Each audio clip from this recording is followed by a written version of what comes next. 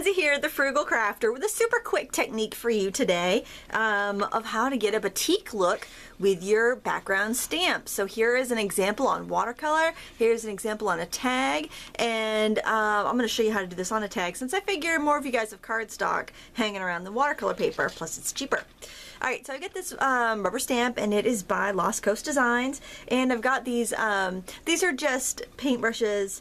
These are Elmer's Paintastics and they have some liquid watercolor in them. You can use watercolors, you can use um, ink, you can use markers. Um, you just want it kind of juicy, so if you're using markers to color, you're going to want to spray it with some water before you stamp. Um, these are really fun because they're they're cheap, and you can get them in the kids' arts and crafts section at your um, at like your craft store. I got these at um, Staples. They used to, uh, not Staples. I'm sorry, uh, Sam's Club. They used to sell a set of 15 of these for 10 bucks, and I figured, well, even if the paint's junk, I'll empty it out and use it for water brushes. I'll wash them.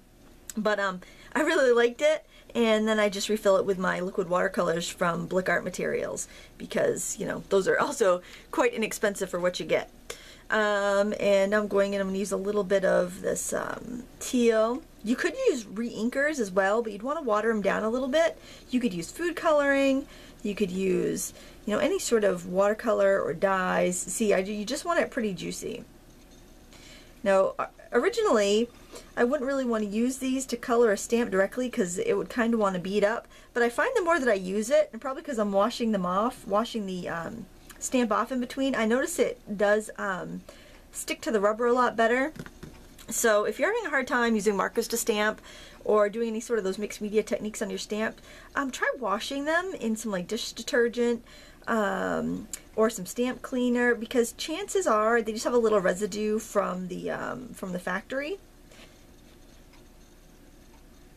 The only thing about these, you do have to give them a little squeeze. I notice there's like a little um, kind of cartridge in here that kind of traps the ink. I guess keeps it from coming out too quickly, but I'm thinking about actually experimenting and taking the cartridge out of one and seeing if I prefer having my ink come out a little bit faster. Alright, so I'm letting my colors mix and blend. I've only got three colors.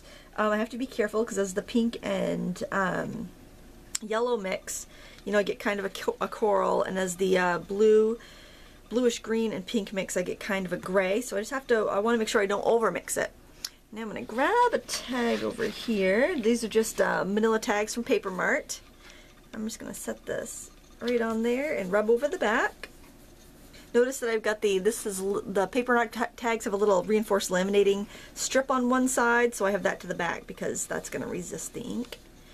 And the stamp's not quite big enough to do the entire tag, so what I'm going to do is just press that front area that didn't get stamped right in there. And there, that's what you get. I think that looks just really, really pretty as is. I'm going to get the bottom a little bit too. I guess I missed a little bit there. There. So that's that's really batiky looking to me. But um, on this example, I actually was playing with a little bit and I went over it with some of the colors to kind of fill in some colors. I think this looks like um, kind of like the tropical print you might see on lawn furniture and I actually really like that look. So yellow is really good for glazing over these colors. So if you want to do that you can. You don't have to but I just think you know we're, we're in the middle of a cold winter and I just think this looks like summer and I think it's um, a really fun technique that you can try with the background stamps you already have if you want this background stamp I will leave a link under the video in the video description. So you can go find that over at Lost Coast Designs. Tell them Lindsay sent you. I do appreciate that. It's so nice when you tell a company that you uh, you learned about their product from me. I am on the design team at Lost Coast Designs, so I always want to see the companies that I design for do well, eh, especially since they have such wonderful products. So, I mean, you can just really play with this, and you can have fun painting uh, even if you don't know how to paint or even if you feel like you don't know how to paint because I'm sure you can paint I'm sure you can but sometimes you just need that little little uh, something to hold your hand as you go through it. So you know it's a fun technique. I hope you try it try it with what you have. Um, try it with watercolors or regular watercolor markers. If you don't have this just give it a spritz of water first and there you have it. Thank you so much for watching. Until next time happy crafting